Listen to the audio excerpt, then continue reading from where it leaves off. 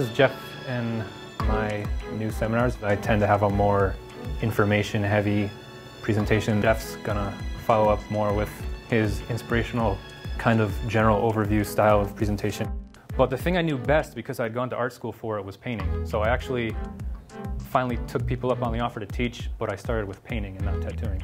Now I want to teach, well, what do I have to offer that's truly mine? What you're trying to do for your audience is create a distinction between where they were mentally when they entered the room and where they are mentally when they leave the room. Now, we're all, both these people, all the time. You can always give everything away. But it's really important that the person that you're giving it to places value on it.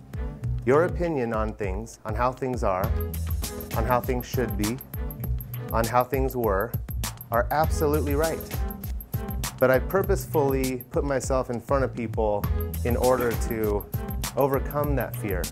I'm giving you philosophy, I'm giving you concepts. It's all foundational level stuff that you then have to build upon and become your own tattooer.